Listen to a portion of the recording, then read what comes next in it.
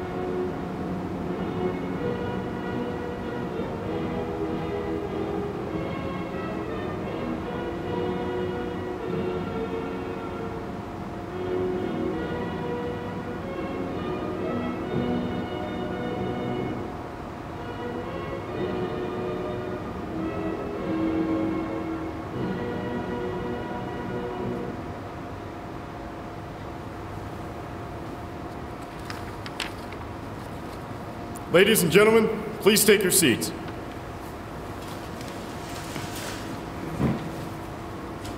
I am Airman First Class Faulkner, and I will be the narrators for today's ceremony.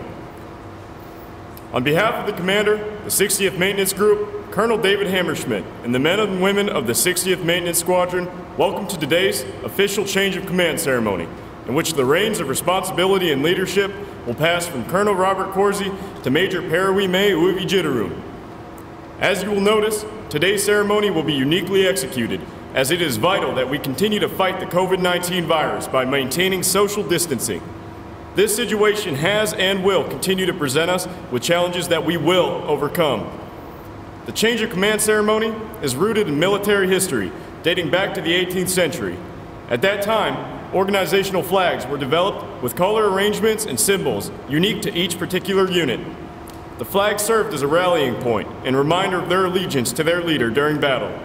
To this flag and trust, when a change of command took place, the, the flag was passed to the individual assuming command in presence of the entire unit. All unit members could witness their new leader assume the responsibility and trust associated with the position of commander. He or she, who this symbolic tradition has survived, he or she who has possessed the flag also held the unit's members' allegiance. This symbolic tradition has survived throughout military history. Our goal today is to continue the change of command tradition while recognizing the constraints of the unprecedented times we are currently in. At this time, it is my distinct pleasure to introduce the official party. The presiding officer, Colonel David Hammerschmidt.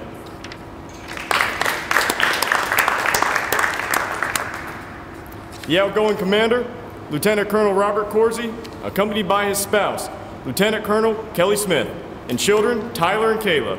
Unable to attend today, but watching via our online stream, his daughter Audrey.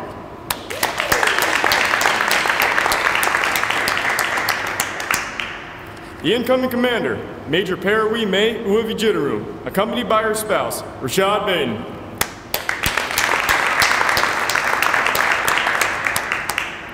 We are also privileged to have with us today several distinguished guests. The commander, 60th Air Mobility Wing, Colonel Jeffrey Nelson, and his spouse, Courtney.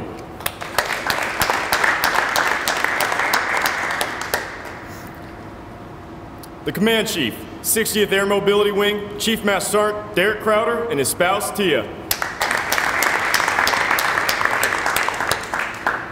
The Deputy Commander, 60th Maintenance Group, Lieutenant Colonel Clinton Vardy.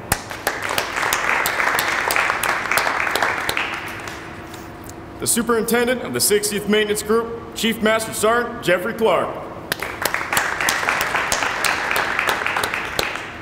The Commander, 349th Maintenance Group, Colonel Aaron Cook. we would also like to extend a warm greeting to all members of the 60th Maintenance Squadron and members of Team Travis here and watching today's virtual ceremony. Ladies and gentlemen, the presiding officer, Colonel Hammerschmidt.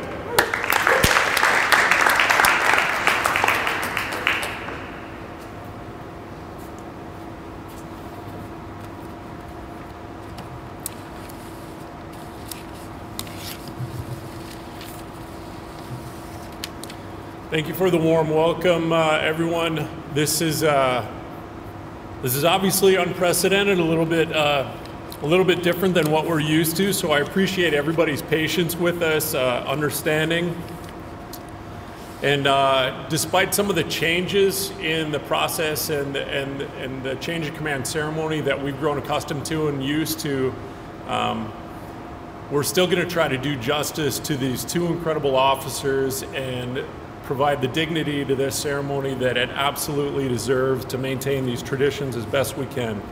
So um, I typically like to go through these by going through a few themes, but uh, before I do, I, I do want to say thank you to all the people that we are able to get on out here, and it's nice to see uh, a gathering of some familiar faces that we haven't had the opportunity to do so in quite some time. So Colonel Nelson, Ms. Courtney, thank you very much for attending today and taking some time to be with us and sharing this ceremony.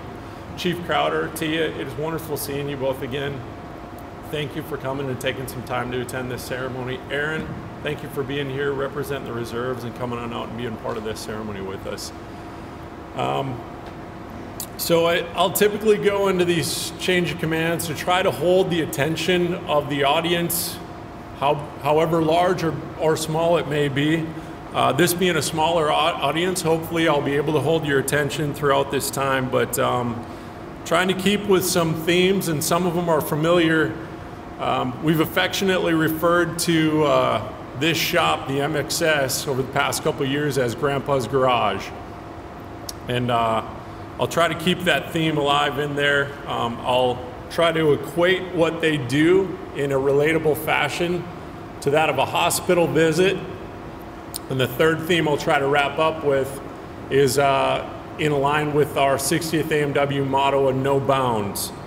So, first of all, welcome to the largest MXS in Air Mobility Command.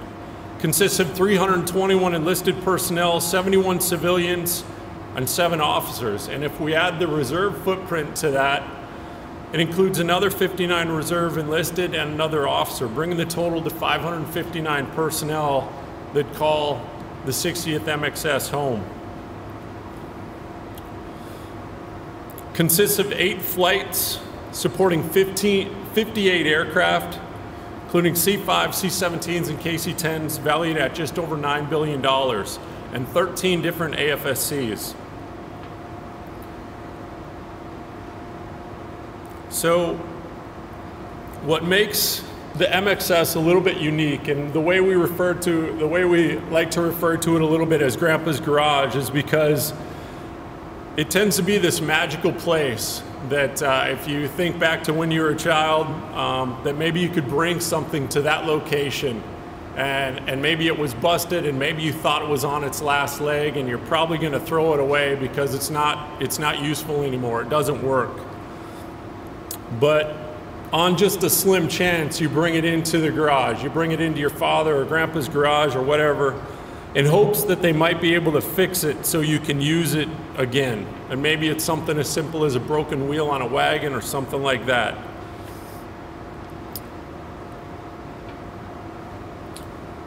And if you bring it into that location, magically, you just hope to get it fixed so you could use it again. But when you'd bring it into that spot, Grandpa, or in this case, the technicians in this location, would emerge with that wagon and it would be better than it was when it was new. Maybe there's a new beefier set of tires on it, maybe the structure was beefed up a little bit on it, but not only was it returned to you in good working condition, but in many times it was returned to you better than the original condition you brought it in there. This magic happens each and every day in the 60th MXS. And thinking, trying to relate back to this story as, as a kid, if you if you brought it in, it was never your intention to getting it back better than you brought it in there. Again, you just wanted it fixed. But the fact that it was returned to you better than its original condition makes that item then somehow receive take on the form of a, it being a gift. And it becomes a gift because of the pride in workmanship and craftsmanship, the passion to improve what was yesterday to make it better tomorrow, and the professionalism and the skills of the technicians to actually be able to pull it off, no matter what condition the part was handed to them.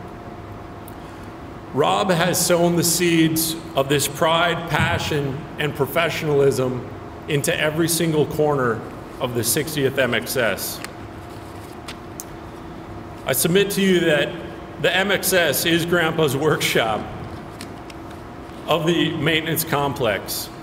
And the three AMXSs, the aircraft generation squadrons, they all bring their broken toys in with the, expect- with the expectation that they'll get fixed, and they'll get fixed quickly because they need to put them in the lineup and get them in the air. And in this case,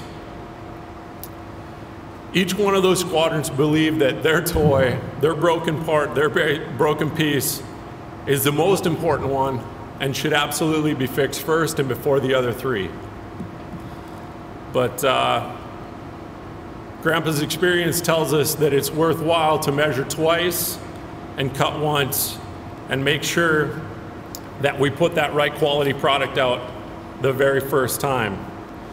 And over the past two years, Rob and his team has been exceptional at making this magic happen and maximizing the capability for all three weapon systems the C5s, the 10s, and the 17. As evidenced by the fact that Travis is able to boast the number one tanker performance metrics, not just in the KC-10 fleet, but across all, all tankers across AMC. The number one C-17 performance metrics across all C-17 units across AMC. And leads quality metrics in 31 of 48 measured areas for the 5, the 10, and the 17 communities. But these are not the only three organizations that the 60th MXS supports. There are multiple organizations that depend on the 60th MXS to fix their toys on behalf of DoD. There's actually 247 DoD organizations across California, Nevada, and Oregon that depend on the expertise within the eight flights of the 60th MXS which includes calibration of over 13,000 pieces of test equipment, measurement, and diagnostic equipment. The flights I'm alluding to include fabrication, sheet metal and corrosion, aero repair, aerospace ground equipment, precision measuring and evaluation equipment lab, wheel and tire, munitions, hydraulic shop, and fuel cell. The customer bases range from aircraft parts, repair, munitions, to assisting NASA with the world's largest heat shield for the Orion, Orion space capsule and the James Webb Telescope, to helping design and build medical impact device to aid in traumatic brain injury research that's been lauded by the Air Force Surgeon General. Along the theme of the Surgeon General, it's very much like a hospital visit for our aircraft whenever they come to the 60th MXS. Fabrication flight. This is where we fix the broken bones on the aircraft, the structure on the aircraft.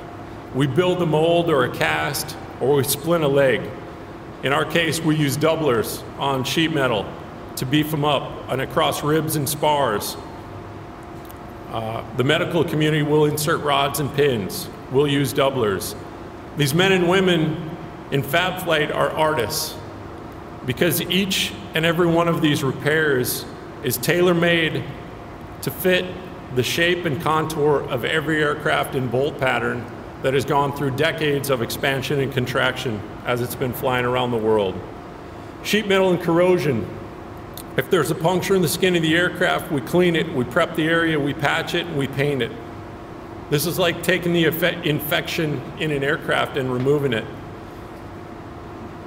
MXS has leveraged a laser paint remover over the past couple years to, to cut prep time in half and reduce the waste stream that used to be captured in gallons down to ounces.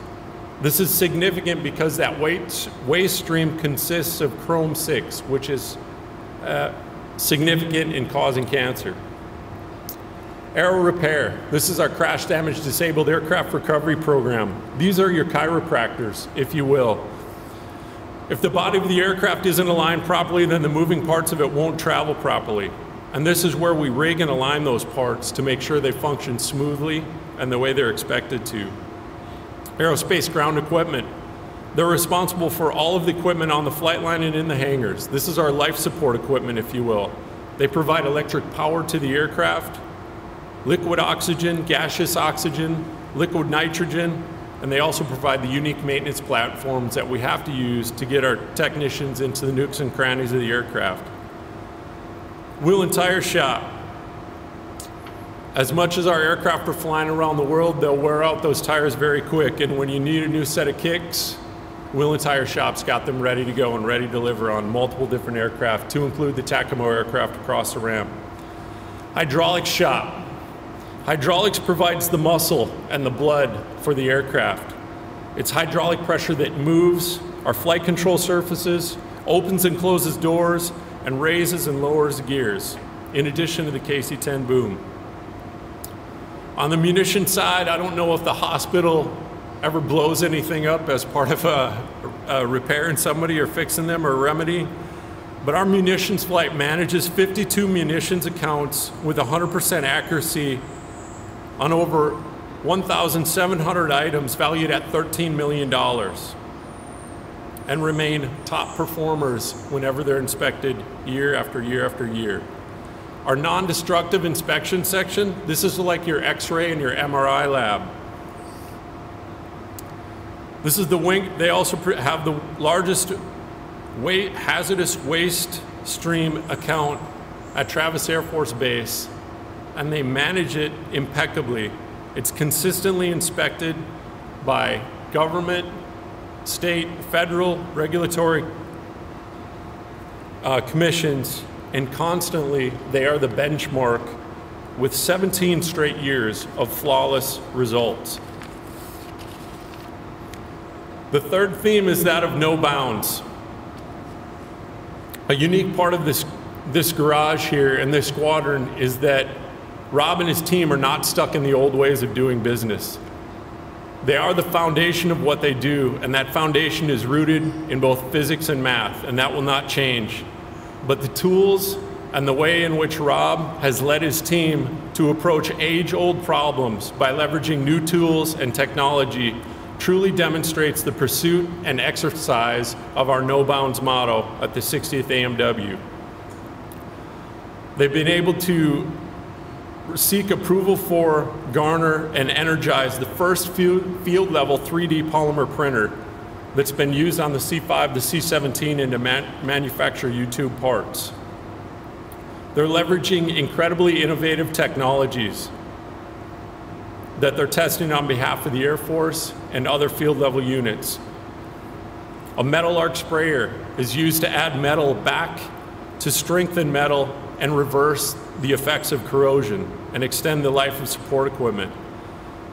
They have a FARO Arm scanner that uses IR to explore size, shape, and dimensions of objects and items to export to an AutoCAD program to allow reverse engineering and manufacture of parts. And Rob has also set the stage for a metal 3D printer, the first of its kind to be put into a field location.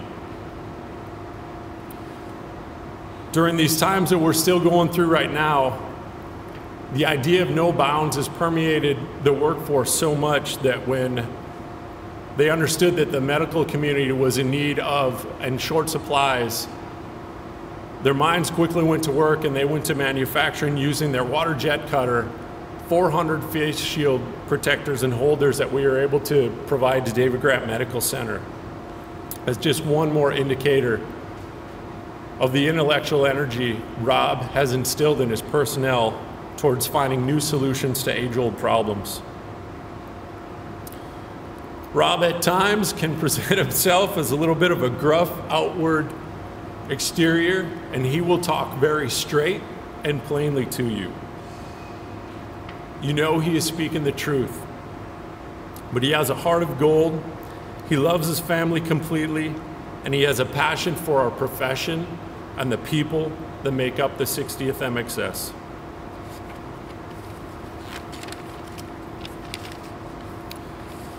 Shortly here, Rob will be handing over a command, and not long after that, he'll be retiring. Rob, it's been a lot of fun. It's been an honor having the opportunity to serve with you again, and I cannot express my respect for you as an officer, leader, or a man enough other than simply by saying thank you. So, with that, leads me to my next officer here. And we're blessed with riches at Travis Air Force Base. We attack, we attract talent from all over the globe. And we're blessed with riches with Major May. She's a perfect example of the pedigree of officer that we're blessed with here at Travis.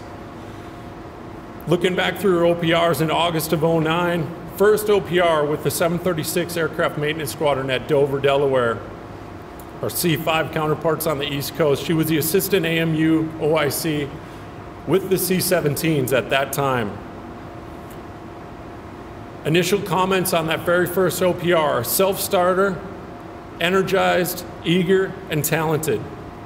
And as demonstrated by her recognition as the outstanding academic performer at Airspace and Basic Course. Didn't take her long because the first year out of the gates, she was the MXS Company Grade Officer of the Year at Dover. In 2010, she was quickly pulled up to the Maintenance Group Executive Officer.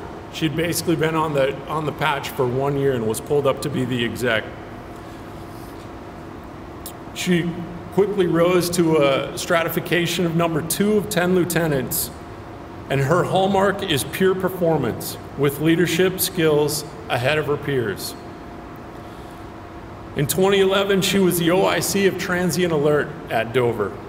She was charged with an enormous responsibility for leading the group winner O plan, where she had to prep 12 teams and 16 de-icers, and did so successfully and was able to move over 2,000 transient missions and was named the Group Company Grade Officer of the Quarter, number one of 22, and selected as a Women Junior Symposium representative and highlighted as a superb leader and again, performance beyond peers. In 2012, she was moved over to the 373rd Training Detachment as a detachment commander in charge of 33 folks, seven AFSCs, and a curriculum of C5s and C for C5s and C17s, instructing 115 different courses and pushing through over 500 maintainers through that. Again, number one of four lieutenants. In 2012, she was competitively selected to attend the Defense Language Institute in Monterey, California, focused in on Japanese. She graduated with a 3.8 GPA and was highlighted as truly exceptional officer. In 2013, she again moved to be an aircraft maintenance instructor. Only this time, it was a part of the military personnel exchange program in Hamamatsu, Japan, as a bilingual instructor for three advanced maintenance courses and one logistics course for pilots. There, her performance was highlighted as an outstanding leader, an innovative diplomat and instructor, and drove huge, huge partner nation impact. This, I'll remind you, as a young captain. In 2014, I'll try to dust off my, my Japanese here. She was Ichiban of 19 instructors. Those of you that don't know, Ichiban is number one, if I'm saying that correctly. Ichiban of 19 instructors. Ichiban of five CGOs in the Asia, Asia Pacific Military Personnel Exchange Program. Epitomized U.S. Air Force qualities and core values. In 2015, Ichiban of eight captains. In 2016, she was moved out of Japan and up to Beale, California here, just up the road, as part of the 9th Maintenance Squadron. There she was a maintenance operations officer in charge of over 30 U-2s, 11 T-38s, and 15 RQ-4s. Also 300 people there, world-class maintenance leader, and again, Ichiban of four CGOs. In 2017, she flew up, still as a captain, to assume maintenance commander responsibilities. An 05 billet, a lieutenant colonel billet as a captain. She filled that role for six weeks and was again Ichiban of 17 CGOs. In 2018, she was dual hatted as the AMXS OPSO and the MXO OIC, Ichiban of number of four maintenance officers. At that time in 2018, I was trying to pull May over here to Travis Air Force Base. Actually, May and Rashad, trying to get both of you over here sooner. Because uh, I realized you had a big commute on your hand, and I needed some FGOs rolling in here. I wasn't successful in doing that. Beale kept their claws in you for a little while, but in 2019, I was successful in finally pulling you over here, where she's fulfilled the role of the C5 OPSO in one of our very demanding squadrons. She's generated 608 missions, moving 43 million pounds of cargo, which has led to the Secretary of Defense Field Level Maintenance Award. And again, Ichiban of five ops officers in the maintenance group and the Wing FGO of the Year. May, to you and Rashad, I look forward to your leadership, your energy, and your command of the men and women as 60th AMXS, and we're blessed to have you. Thank you.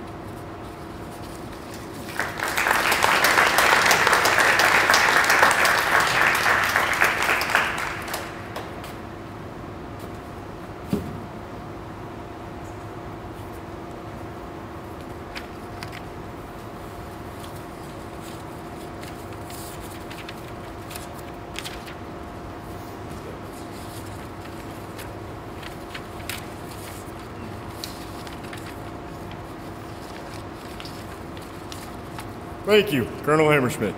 Ladies and gentlemen, please stand as the Meritorious Service Medal will be awarded to Lieutenant Colonel Corsi.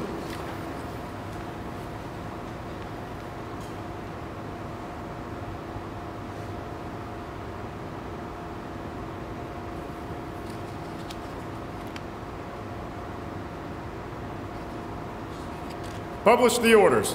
Attention to orders. This is to certify that the President of the United States of America authorized by Executive Order 16th January 1969, has awarded the Meritorious Service Medal 4th Oak Leaf Cluster to Lieutenant Colonel Robert T. Corsi for meritorious service 30th June 2018 to 31st August 2020. Lieutenant Colonel Robert T. Corsi distinguished himself in the performance of meritorious service to the United States as Commander, 60th Maintenance Squadron, 60th Maintenance Group, 60th Air Mobility Wing, Travis Air Force Base, California. During this period, Colonel Corsi led his team of 550 airmen in the execution of heavy maintenance operations for Air Mobility Command's quintessential air power projection platform. An innovative leader, he championed the command's first base level additive manufacturing capability by implementing three-dimensional printing, redirecting already cutting-edge technology to create personal protective equipment for medical responders during the COVID-19 global pandemic response.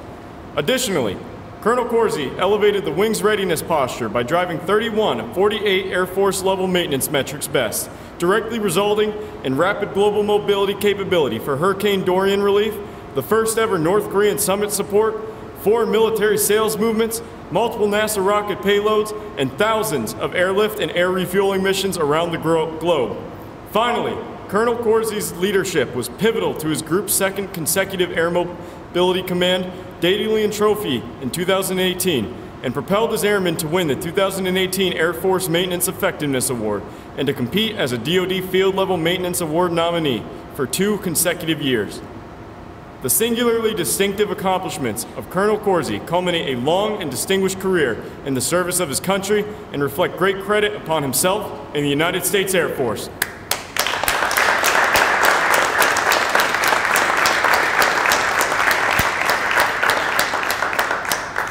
Please be seated. Ladies and gentlemen, the outgoing commander, Lieutenant Colonel Corsi.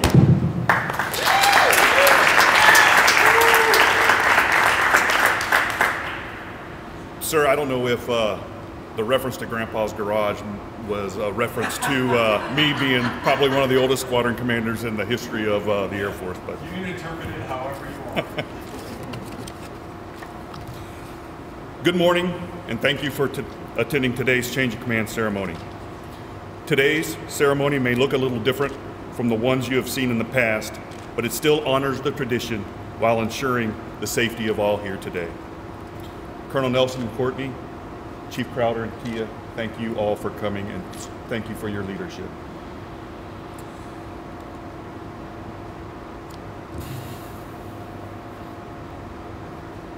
Thank you for allowing the squadron commanders to do just that, sir, and thank you for allowing us to command.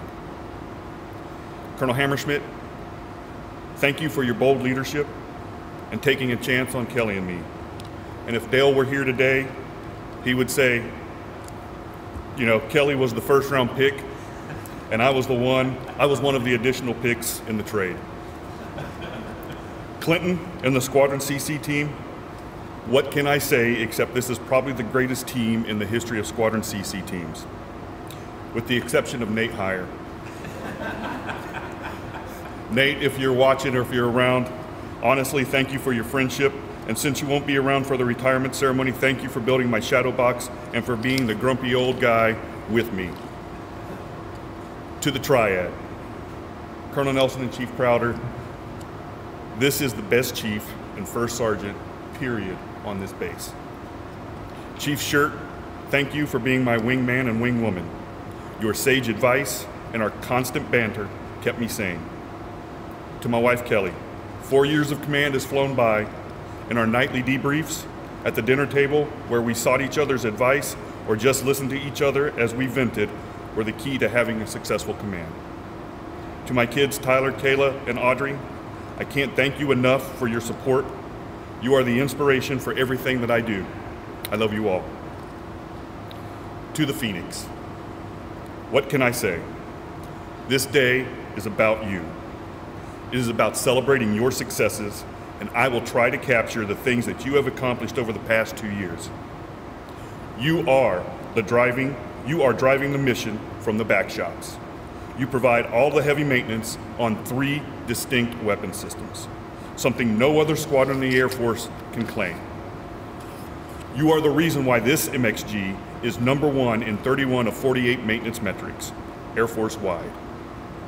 You have supported over 100 maintenance recovery teams, over 30 POTUS missions, multi- a multitude of NASA missions delivering next generation satellite capabilities, supported the first ever North Korean summit, the World Economic Forum, and Operations Inherent Resolve and Freedom, Freedom Sentinel.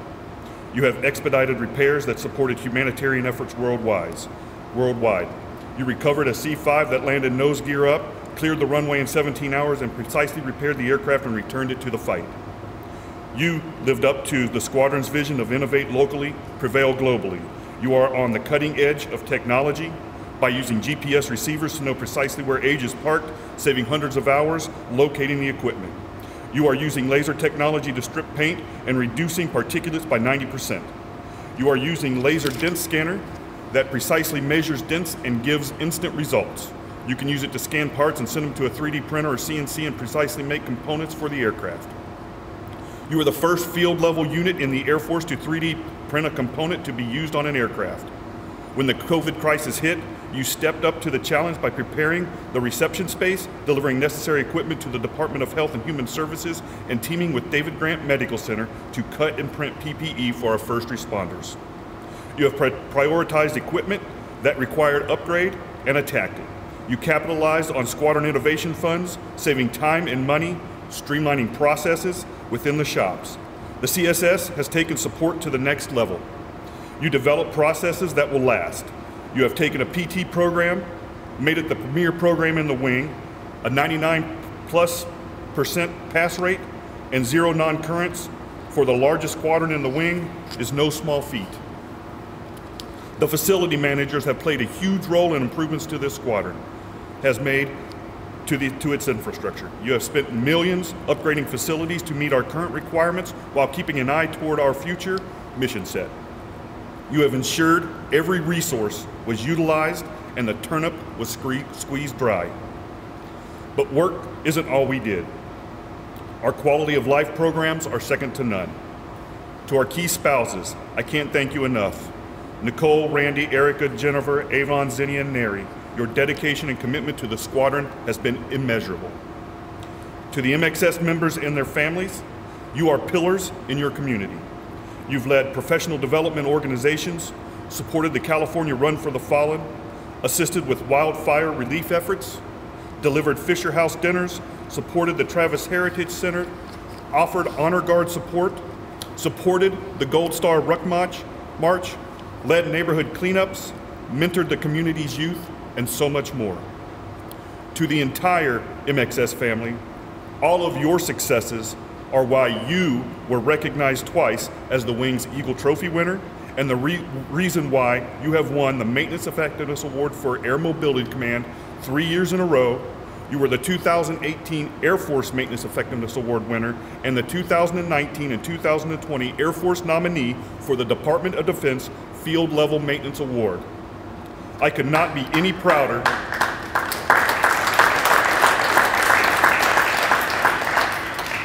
I could not be any prouder of you, and I am grateful to have had the opportunity to serve with you.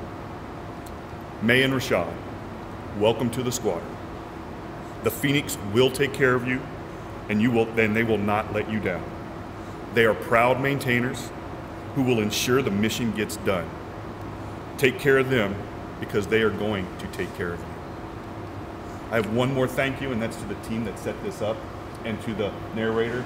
Got an A1C narrating. Normally, it's a senior NCO doing this job. But Aaron Faulkner, you have stepped up to the challenge. You were the Wing Awards uh, ceremony narrator as well, so thank you. That is all I have, and thanks for attending today's ceremony.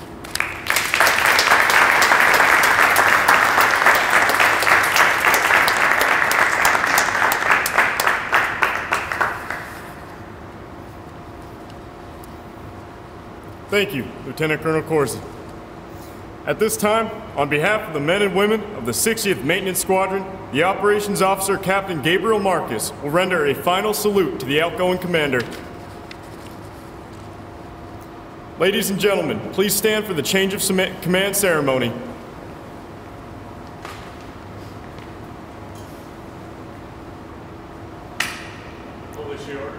Attention to orders. Special Order G20-010, dated 19th May 2020. Major Parawi May Uivijitaru is appointed Commander, 60th Maintenance Squadron, Travis Air Force Base, California, effective 21st May 2020, under authority of Air Force Instruction 51-604. Sir,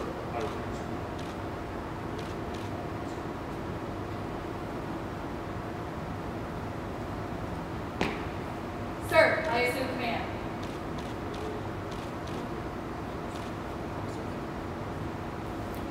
On behalf of Colonel Hammerschmidt, it is my pleasure to introduce the new commander of the 60th Maintenance Squadron, Major Parawi May Uivijitaru.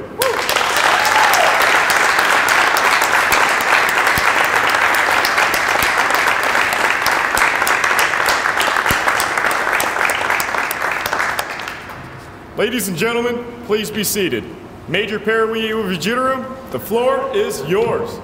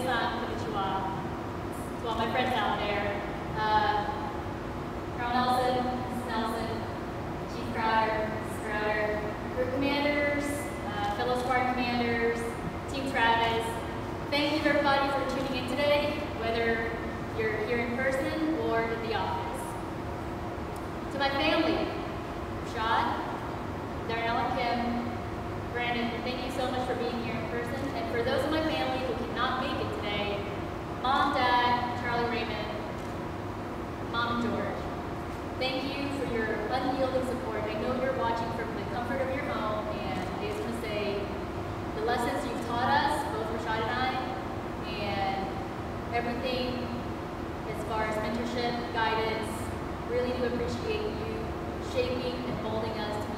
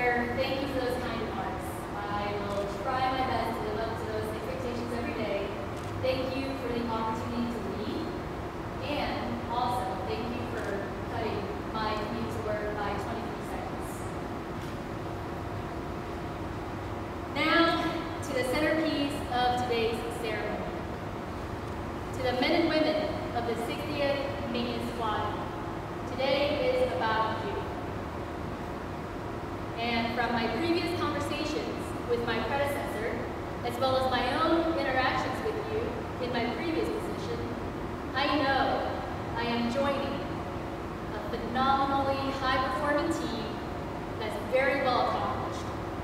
And I look forward for the opportunity to humbly serve you.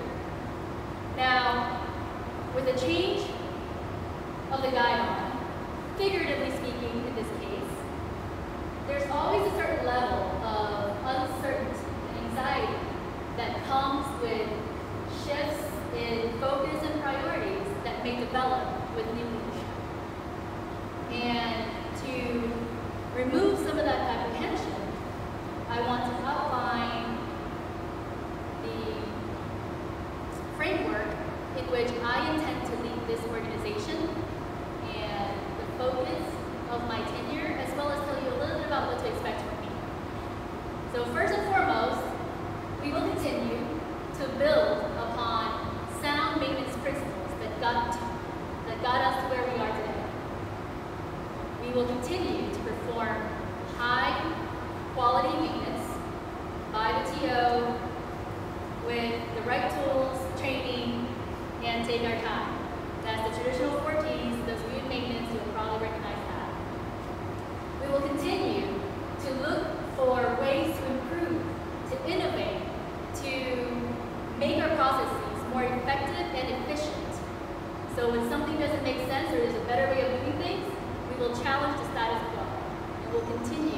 to contribute locally and globally.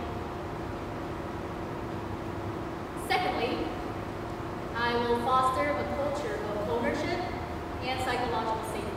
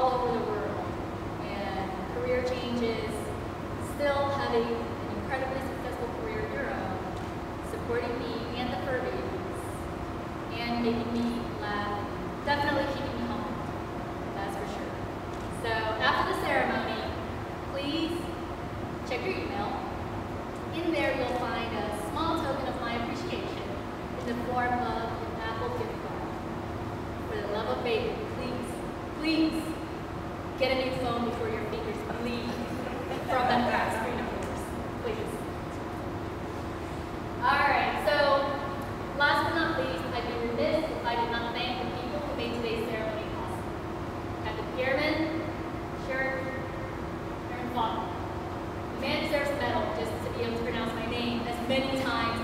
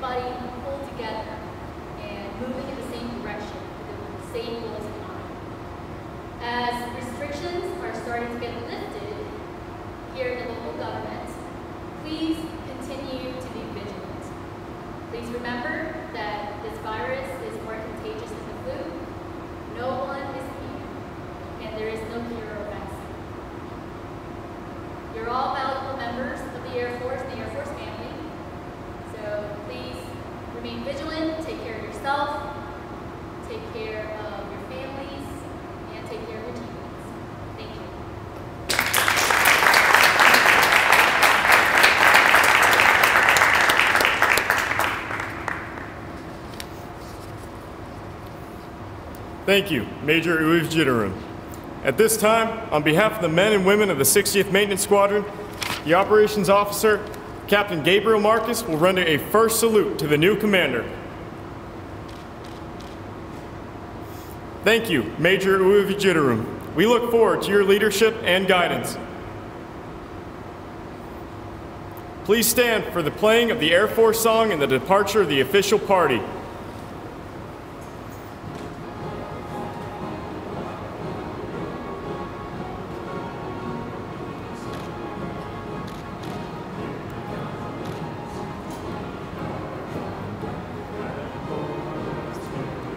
Give her the guns! Flames from under, off with one hell of a roar. Hey, how can stop the U.S. Air Force?